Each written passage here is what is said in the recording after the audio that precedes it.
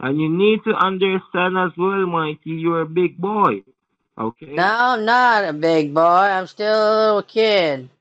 No, you're you're 28 year old. Right, Okay, and I got the mind of a 10 year old.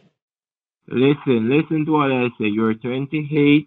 You have girlfriend. You live by yourself. You are a big boy. Okay, you need to take I'm not a I'm not a big boy, and I'm never gonna grow up. I don't want to.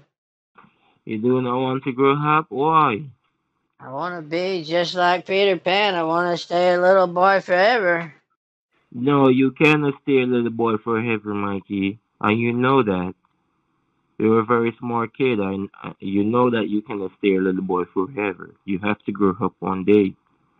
Well, I don't want to. I don't like the idea of growing up.